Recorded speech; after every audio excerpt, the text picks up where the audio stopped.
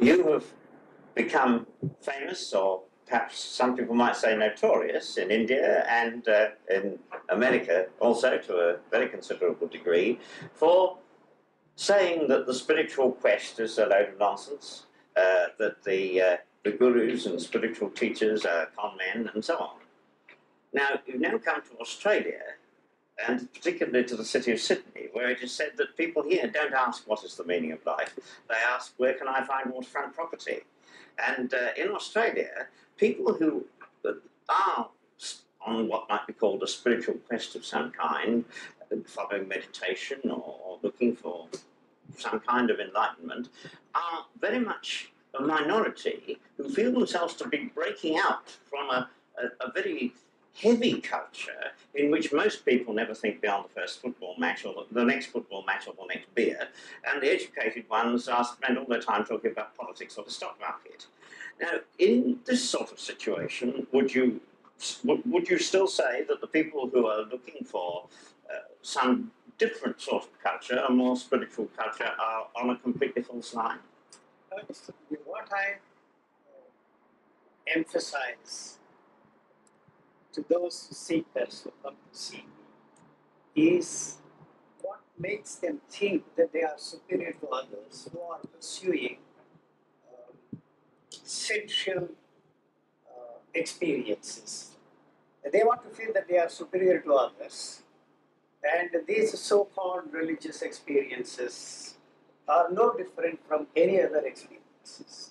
The instrument which we all use to experience is born out of sensuality. So the mind is can survive only through the constant demand to experience the same, things again and again and again. But I don't see any reason why they should feel superior to those who are uh, pursuing the material goals basically all goals are the same. The instrument which we use to achieve our goals is matter, which is thought. They may say that they are pursuing spiritual goals, but the instrument is exactly the same.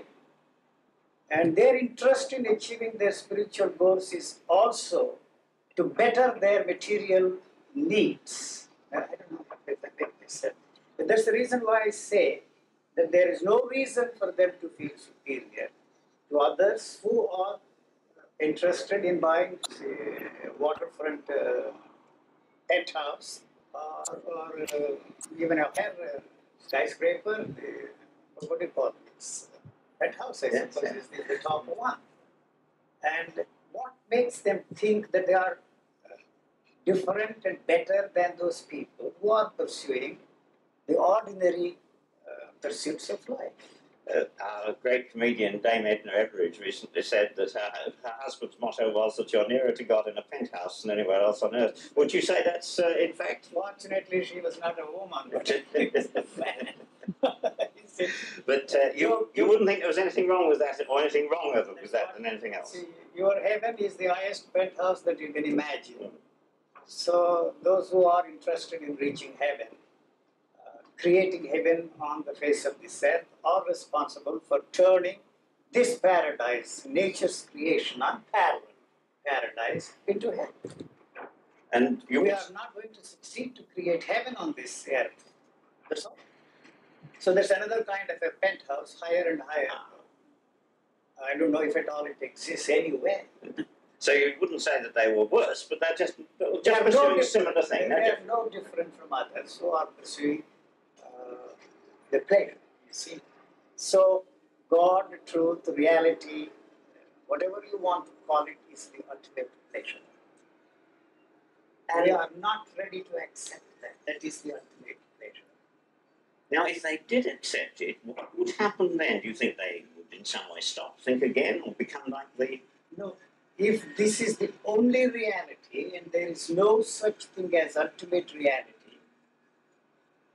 it is easy to function in this world very efficiently. So there is no reality at all as far as I am concerned. There is no way you can experience the reality of anything, the fact that you are sitting next to me or that there is somebody here talking. Even this reality which we take for granted, we have no way of experiencing this. So, but we have to accept the reality of the world as it is imposed on us. And if we don't, we will end up, you see, deluded. But we have to accept to function sanely and intelligently in this world. That helps us uh, to fit into this reality of the world as it is imposed on us. When once we are freed from the demand to be something other than what we actually are, and if that energy is released, it, it becomes very, very simple and easy for us to function in this world sanely and intelligently. That's all that I'm pointing out. That's uh, uh, very interesting. I, uh, I've heard you uh, make rather rude remarks about such things as health foods and so on. Uh, would you say that uh, would you say that certain kinds of diet uh, leave the body more natural than others, uh, make it more function more naturally? I don't think that the demand for uh, very nutritious and healthy food is no different from the demand to have varieties of girls or varieties of men for your food. You may not like it, but when once see you have everything that you need or ask for is there, the question arises: Is that all? When you lose faith in something beyond, this becomes so very important to us. The moment you are concerned about, you see, health food, that is the beginning of the sickness. One who is healthy will never think in terms of health food at all. We would think just in terms of common sense. So what we need is some energy for this body. That's all that is necessary for this body. And that's why the, the nutritionists uh, very often think that I am very crazy when I say that uh, this body can survive on sawdust and glue. The glue is for giving some flavor to the sawdust. When I made this statement to a friend of mine who is considered to be a top nutritionist, he said that chap is talking some nonsense, absolute rubbish. There was one Russian woman who lived in Leningrad during the Leningrad siege. She said, I survived on that kind of food, even worse food than that. I could eat anything. I had no health problems there. Now I live in the United States and I eat food. It's very nutritious food, rich food. I am sick all the time. Isn't that interesting? No, you see, I'm not recommending this to anybody. See, what is possible for me must be possible for somebody else also. What's wrong with me? I'm 72 years old. I eat, I eat very little food, and what I need food for is to give energy to this body. Probably just So when once you see the, the pleasure movement is not there, the varieties of food also disappear. That's all that I'm saying. I'm not for a moment saying that you should free yourself from the pursuit of pleasure. But all are the same. Whether you pursue God or enlightenment or ultimate reality, or you say perfect, well balanced with natural food or healthy food, they're all the same. yes, The society may consider that certain actions of ours are not socially acceptable, certain other actions uh, are socially acceptable. So, what is wrong with you see a man wanting varieties of men, varieties of girls uh, for fun? And so, you don't want to place the demand for varieties of food on the same level as them. But basically, essentially, and fundamentally, the demand for varieties of food is no different from a man demanding to have fun with varieties of birds or a woman demanding to have fun with varieties. You see, I'm not very serious. I'm not a very serious discussion.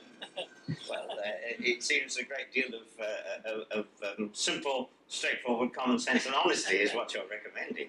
Uh, the thing that I'm not recommending Or what you're- I'm what- not what recommending anything. I'm not interested in freeing anybody from anything. See, as a matter of fact, those people who are after or pursuing the permanent pleasure, that's all that they are interested in, permanent happiness, will be better off hanging around gurus than coming to visit me. They are not going to get anything here. This is not what they are interested in. So they are interested in some comforters and they are providing them with those comforters and they charge. That's all. They will be better off there than coming here. I am not interested in freeing them from their gurus at all. there is a demand for these books. There is a market for this kind of thing. That is why they are flourishing everywhere. I am not marketing anything. If you are really interested in understanding what really the problem is, why you are pursuing all these things, why you are interested in the quest for permanent happiness, why you are interested in the quest for permanent pleasure, is all that I'm interested in pointing out. See, the instrument that is involved in this demand and uh, attaining the goals which we are interested in is not the instrument to achieve the goal, the thought. That is the reason why I say, emphasize all the time, over and over again, ad nauseum. That thought is fascist, fascist in its nature, in its content, in its expression, and in its action. Because it wants to control, shape everything to protect itself. It's all that it is interested in. So we are not ready to accept that that instrument, thought, or whatever you want to call it, the mind, can only create problems, cannot help us to solve the problems. And I'm talking all the time. This That- is what to be a I, that, that's what that's what we're for. The talking all the time. That's okay. uh, if uh, you you described, I've have, I've heard uh, recordings and uh, things that you're describing a time in your own life uh, which you call calamity because uh, you say it didn't uh, all the things you'd been expecting and striving for to that were suddenly shattered. And that was very much what you described, it, it, it, as I understand it, as a return to the really natural state of the body with its natural functioning of a kind that most of us are unable to, to see at all. When I use the phrase the natural state, they always put that in the framework of enlightenment or some such thing, or God realization or self realization. Uh, but when I use that phrase natural state, I am referring only to natural functioning of this living organism. When once this is freed from the stranglehold of the culture, the value system, it begins to function in a very natural way. It is freed from, I, I don't like to use the word freed, but for want of a more uh, expressive, meaningful word, let me use free, quote unquote, from this totality of man's thoughts and experiences felt by everybody before him.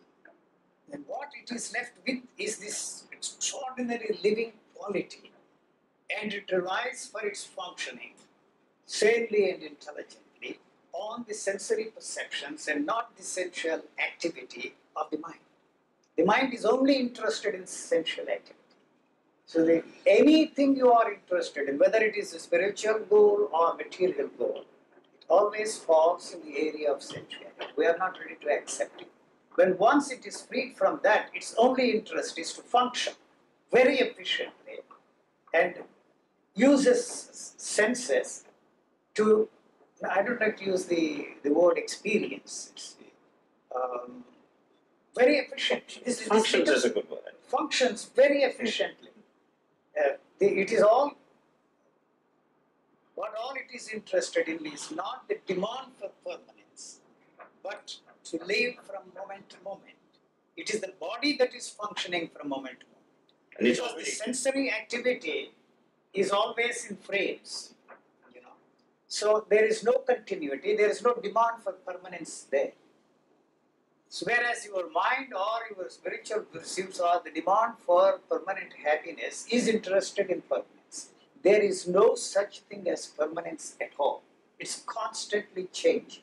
The body takes its birth all the time and it is dying all the time.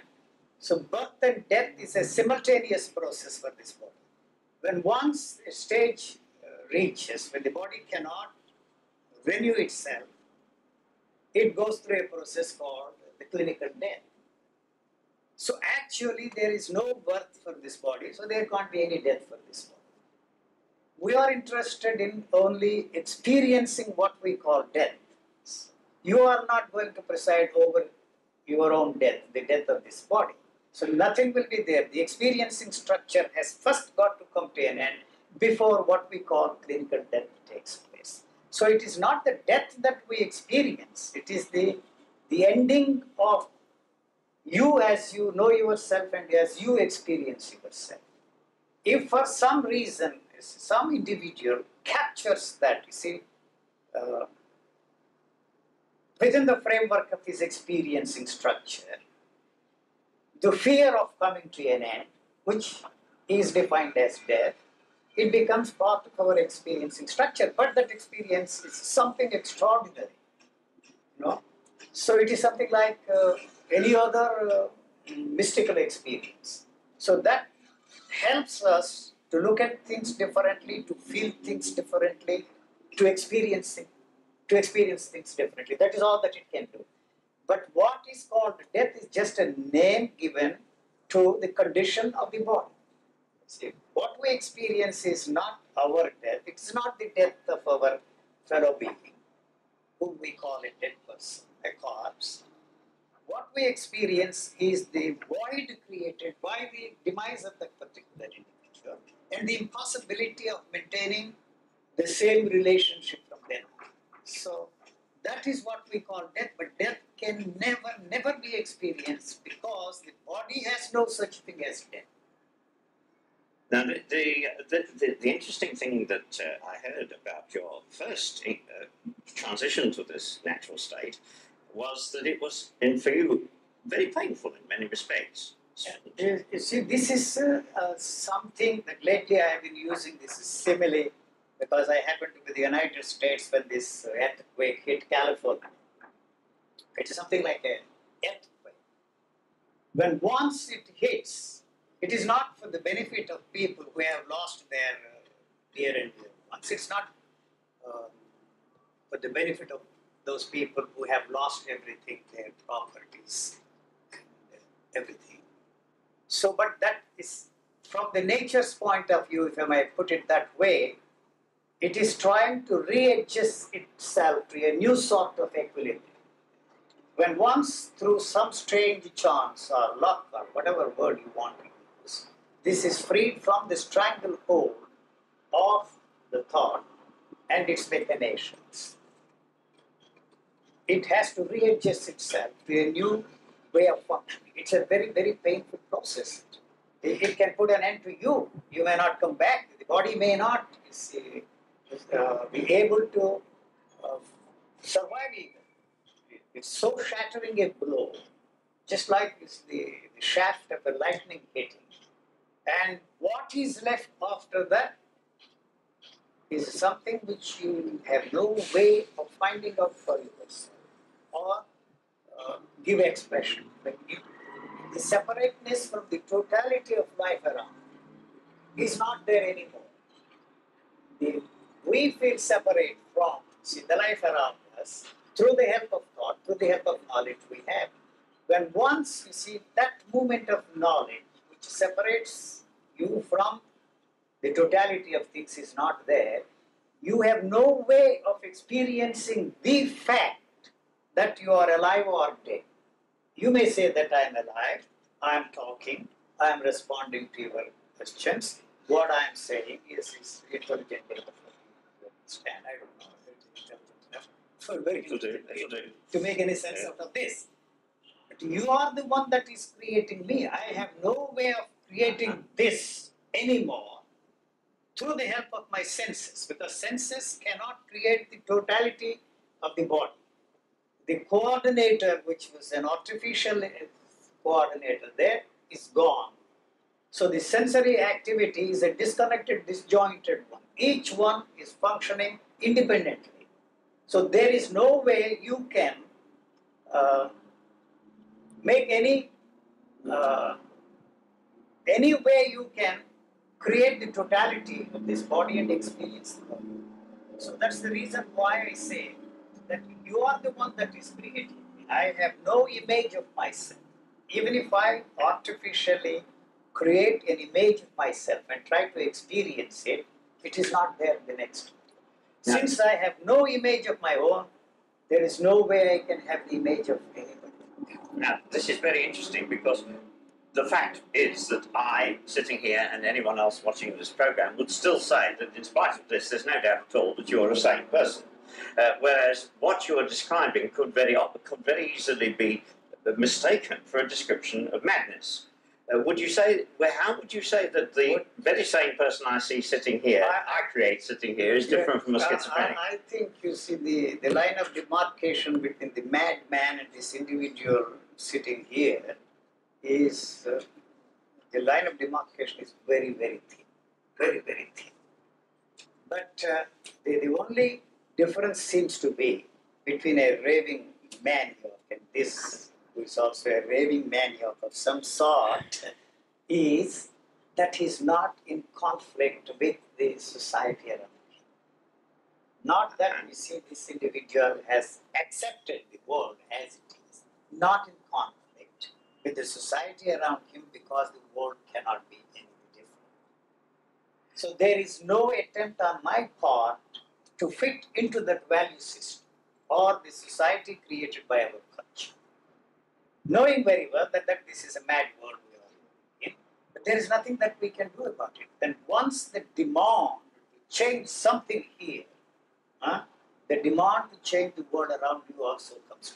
So that the madman is probably still trying to change something here or something out no, there. No, he's I not. It's just not going. I think we are solely and wholly responsible for those pushing those people to become functional. See, uh-huh. They have given and our interest is to see that they become functional so that the society can go on. We are actually, factually pushing them to commit suicide. We are responsible for that. They don't want, you see, to fit into that framework, the value system which we have uh, this is the, reason I asked this question, and the reason that one reason why your arrival in Sydney at this moment is so very opportune, is that there is just forming here in Sydney a group of psychiatrists and psychotherapists of various kinds who find themselves confronted with large numbers of people who have broken out from the uh, materialistic culture, just to use that phrase, have started various kinds of spiritual exercises, and almost immediately while many of them go off into uh, months and months of meditation, nothing much happens. Some get struck with the, something like your earthquake. And, and, and, and, the psychiatrist wants to know what to do. Should he pump him full of drugs? They, it isn't that the psychiatrist tries to control them. They go to him. Well, the basic question which we all have to ask is what kind of a human being you want in this world? What kind of So the psychiatrist has to ask that first too. Yes. So we have unfortunately placed before mankind the model of a perfect being. That perfect being is the spiritual teacher and his behavior patterns. And the whole value system is born out of it. And our insistence and demand on the part of the culture and the value system to fit them all into that mold is bound to fail. Because every individual is unique unique. Nature is not interested in creating the, the, the human species in one common whole. It is interested in creating different species. It does not use anything as a model. That's where we have gone wrong. Because of the fear that the, the status quo of our culture or society or whatever you want to call it cannot be maintained if we do not fit all these people into that value system. I'm not against the value system at all. The demand to fit everybody into a common mold, which is the value system, is responsible for the breaking up of all those, breaking down of many people here. They, they have given. And the so-called normal man, if there is any, uh, he lives in hope and dies in one day he is going to successfully fit himself into that value system very successfully and live in harmony. And the mad people have given up, and so we are pushing them to make them functional, and it is that very thing that is pushing them to suicide. So if there is anybody in whom this kind of a calamity, whatever word, word you want to use, occur, is not society, the society cannot So, insofar as one does anything, and leaves them alone and think it might sort itself out. We, we cannot leave them alone. They, they, are, they are happy and they are content with, uh, with themselves. And why we should push them to become functional. So that's our problem. So some of these psychiatrists uh, come to see me. I put this question, pose this question to them. And one of the top neurosurgeons visited me. We had a long conversation. And I asked him this question Who is normal according to you or your patient who comes for your help? He said, statistically speaking, we are normal. There is no such thing as a normal person. And then why the hell you are running that institute for whose benefit? Families do not want this. They push them here. And the help they can get from us is not even 2%. So it is a living for you to accept that. True. And what you are saying seems to be very true, very correct. But we want to believe that you are wrong.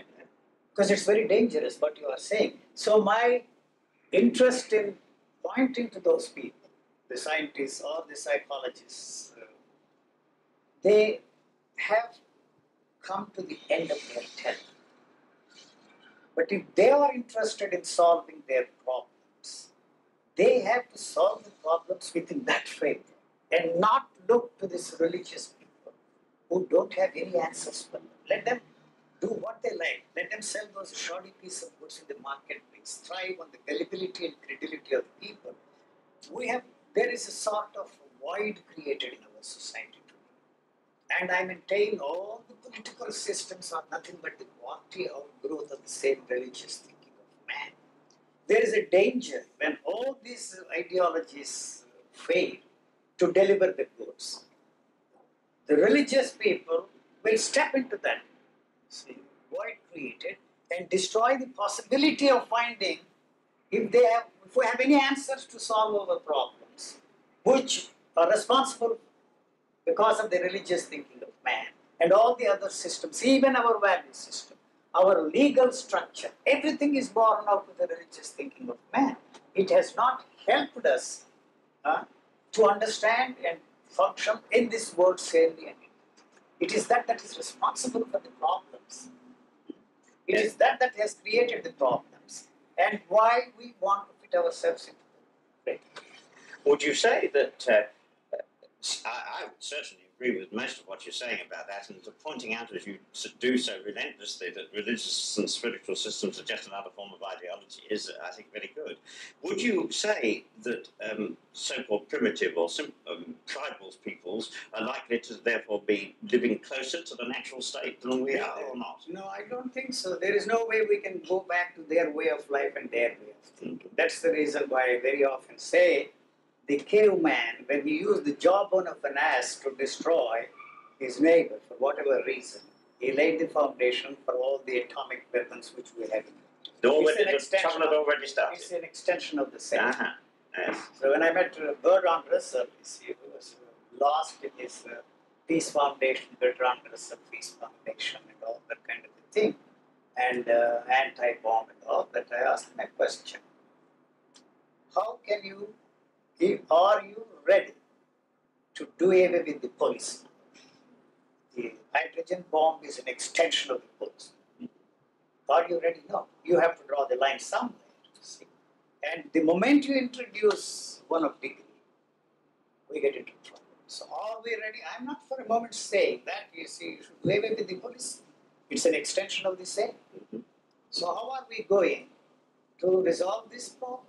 It's not so easy. I'm sure it's not easy. See, and, the uh, humanity is to be saved from the chaos of its own making.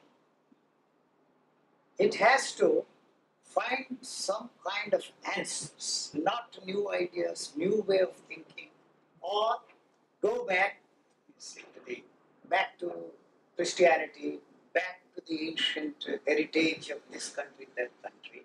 They have all failed. Huh? Yeah. So if we cannot come up with the answers for our questions, we are lost. So, in fact, I think a lot of the people who have become seekers are really trying to find something new. Then what you're saying is that they're looking in the wrong direction no, it's altogether. Not. They are looking for help to people who cannot be of any help to us.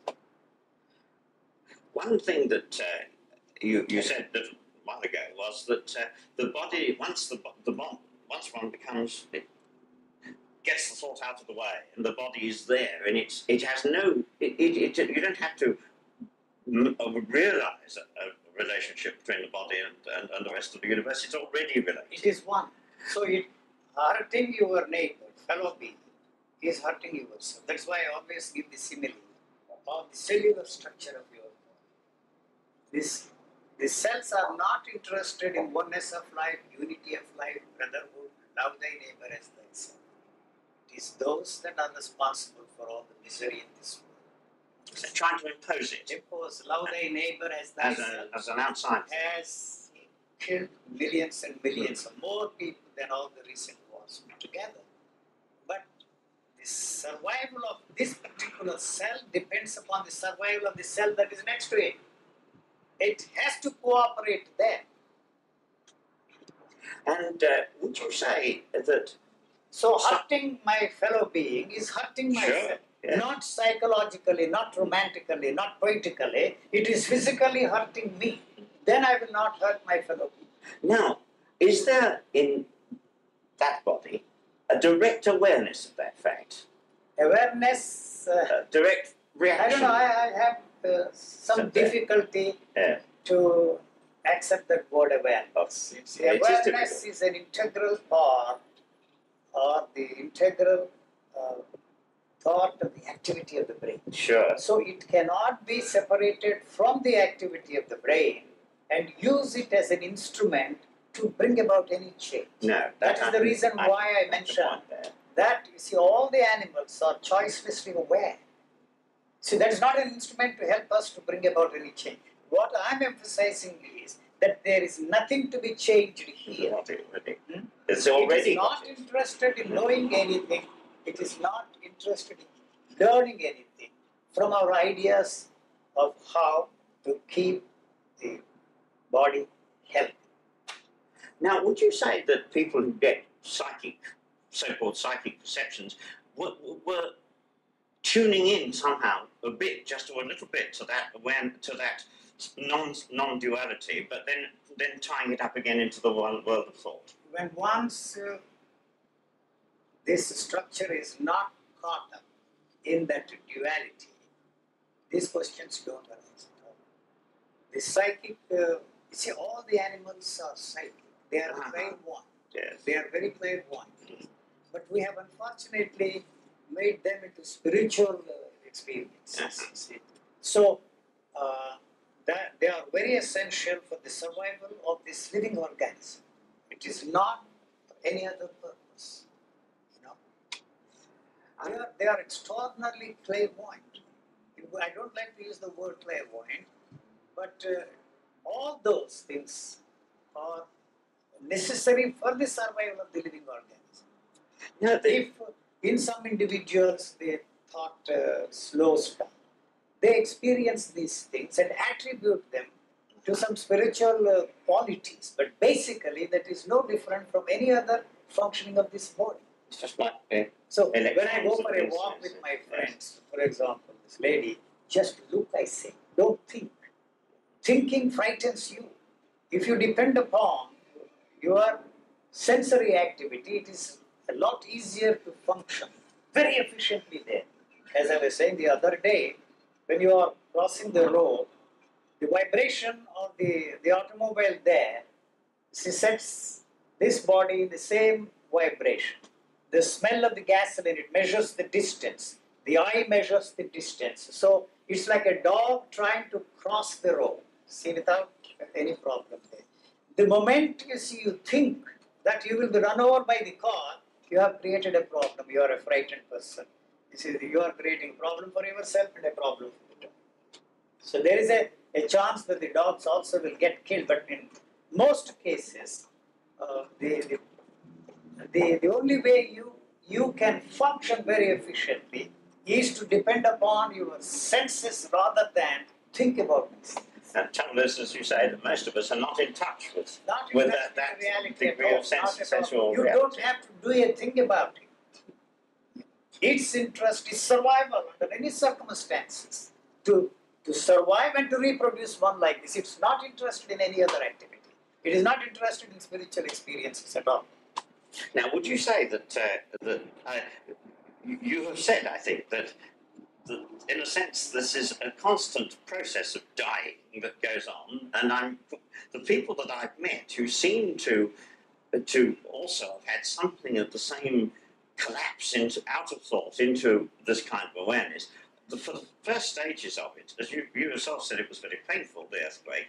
They often are very um, upset and unable to cope in the world. One, are- one lady said she found herself putting the slippers in the They, refrigerator. they are, they are uh, just tremors.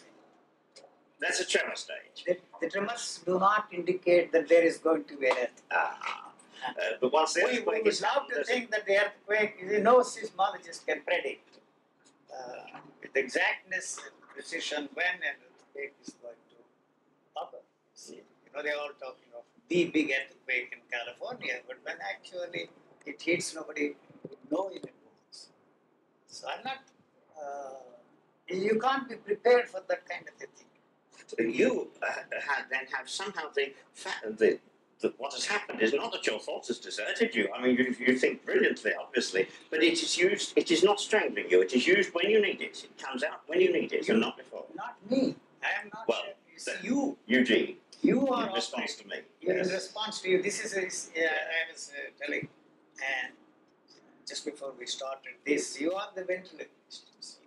So you are. It, it looks as if I am giving the answers, but actually the answers are yours. So all the questions are born out of the answers you already have, and the answers you think I am giving are your own answers. Well, uh, that's very flattering, and I would, uh, I would love So it. that's the reason. If you ever want a job as a ventriloquist dummy, you know where to come. Uh, the uh, so, so would you uh, be able? And what I like about the way you, you do this is that you take a word and you know it's going to mis- be misleading, but you nevertheless put it in inverted commas and use it in a way that gives people a feeling. It's as best you can. It's very difficult to do uh, to give a feeling of what it's like. Can you give a uh, any, say anything more about this feeling that you tried to convey by things happening in frames? Has that anything to do with the, the fact that the body is dying and coming back, dying and coming back So every time? time the thought is born, you are born. Uh, thought is matter. It is the matter that creates this body.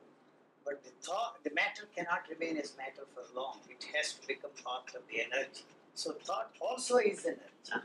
When once you give substance to the thought and maintain the continuity of it so that you can maintain your identity huh, forever, the possibility of that is uh, becoming part of energy is lost.